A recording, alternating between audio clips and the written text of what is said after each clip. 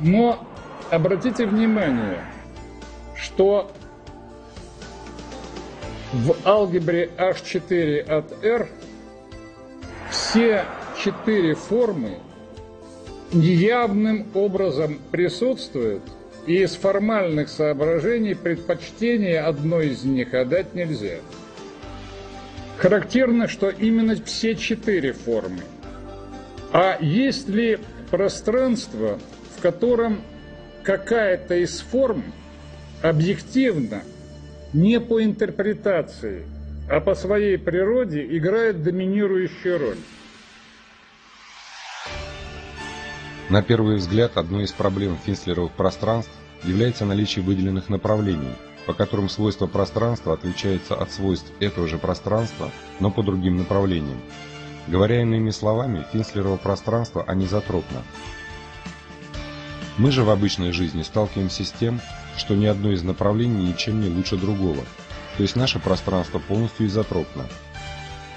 Из того же исходит и теория относительности – Однако пространство Минковского, с которым работает эта теория, все-таки имеет одно выделенное направление. Это направление – время.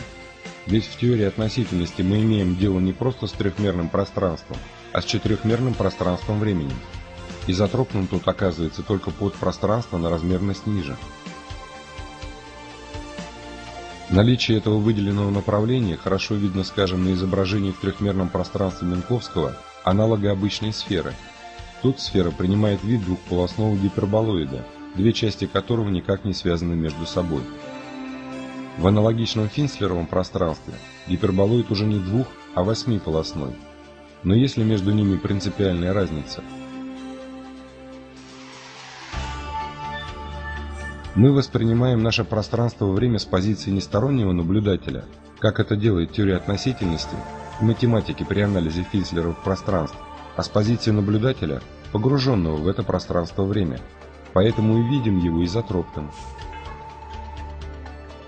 И с этим возникает вопрос, а если мы представим себе наблюдателя, живущего уже в явно анизотропном э, финсеровом пространстве с метрикой Бервальда-Мора, не получится ли так, что и его n-одномерный мир окажется почти изотропным и похожим на тот реальный мир, который нас окружает? Детальный анализ геометрии Финслерового пространства с позиции такого наблюдателя показывает, что она не так уж и далека от тех физических представлений об окружающем нас мире, к которым мы привыкли. Для наглядности этого вывода можно использовать прием, который широко используется в теории относительности. Вместо четырехмерного рассмотреть трехмерное пространство-время.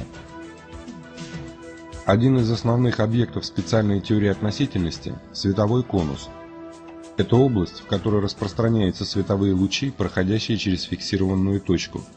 В трехмерном псевдоэвклидовом пространстве Минковского эта область имеет вид чем-то похожий на песочные часы, два конуса, которые соприкасаются вершинами. Возьмем инерциальную систему отсчета, то есть систему, связанную с телом, которое движется с постоянной равномерной скоростью. Тогда любую такую физическую систему отсчета в псевдоэвклидовом пространстве можно изобразить прямой линией, которая проходит внутри этих световых конусов. При этом, если вертикальную ось связать с условно неподвижным наблюдателем, то любая другая линия внутри этих конусов будет восприниматься им как объект, удаляющийся от него с определенной скоростью. И чем больше наклон такой мировой линии, тем большей скоростью с точки зрения наблюдателя обладает этот объект. А в пределе, когда мировая линия лежит на световом конусе, скорость такого объекта по отношению к нашему наблюдателю равняется скорости света. Согласно постулатам теории относительности, движение тел со скоростью больше световой невозможно. Мировые линии таких запрещенных с точки зрения теории относительности объектов проходят за пределами светового конуса. Аналогичное построение можно сделать и для трехмерного Финслерового пространства. Первый примечательный момент. Световой конус здесь выглядит уже не как конус, а как две пирамиды, сопряженные вершинами. Но и тут можно найти область, в которой мировые линии по отношению друг к другу воспринимаются как объекты с досветовыми скоростями. И снова, чем больше наклон мировой линии, тем больше скорость объекта по отношению к условно неподвижному наблюдателю. А в пределе при движении объекта со скоростью света мировая линия оказывается на границе такого светового конуса, то есть на боковой грани пирамиды. Другой примечательный момент. Там, где по специальной теории относительности должна быть запрещенная система отсчета, в Фислеровом пространстве ее мировая линия оказывается в окружении абсолютно аналогичных пирамид, только боковых. Это следствие симметрии той фигуры, которая является световым конусом данного пространства. И это приводит к тому, что любая инерциальная система отсчета, связанная с любой прямой линией, тут может восприниматься как физически возможная. Отметим, что для четырехмерного Финслерова пространства аналог светового конуса также имеет вид двух пирамид, только пирамид уже не с тремя гранями, а с четырьмя. Но вернемся на измерение ниже, поскольку в четырехмерном пространстве представлять что-то все-таки не так просто. Возьмем теперь два световых конуса пространства Минковского и пересечем конус будущего, вершина которого направлена вниз, с конусом прошлого, вершина которого направлена вверх. Получится фигура, похожая на детский волчок, а пересечением двух конусов окажется плоская окружность. С точки зрения физики, эта окружность является местом точек светового фронта, который может зарегистрировать наблюдатель, находящийся в вершине верхнего конуса, при условии, что вспышка была произведена в момент, который соответствует вершине нижнего конуса. То есть это изображение светового фронта в трехмерном пространстве времени. Ничто не мешает аналогичным образом трактовать пересечение двух световых пирамид трехмерного Финслерова пространства. Берем пирамиду будущего с вершиной, направленной вниз, и пересекаем ее с пирамидой прошлого, вершина которой направлена вверх. И вместо волчка получаем обычный трехмерный куб. А линия пересечения световых пирамид оказывается уже не плоской окружностью, а изломанной в пространстве замкнутой трехмерной линией, которую можно интерпретировать как аналог светового фронта в обычном пространстве времени. Изломанный световой фронт может показаться полным абсурдом, ведь ни одно из привычных нам ощущений не подсказывает идеи того, что свет распространяется по каким-то граненым направлениям. Однако видел ли кто-нибудь световой фронт со стороны? Не мысленно и не в голливудских фильмах, а именно наяву. Вряд ли. И быть этого не могло, потому что для такого наблюдения нужны сигналы со скоростью больше скорости света, которые физике неизвестны. Мы можем использовать только световые лучи. А используя световые лучи наблюдать, как они сами распространяются, просто невозможно. Другой вариант – встать на позиции стороннего наблюдателя, то есть подняться над пространством времени, например, в дополнительное измерение – Однако мы – живые люди, которые на это не способны. Поэтому никто и не может похвастаться тем, что смог хоть раз увидеть, как именно распространяется световой фронт.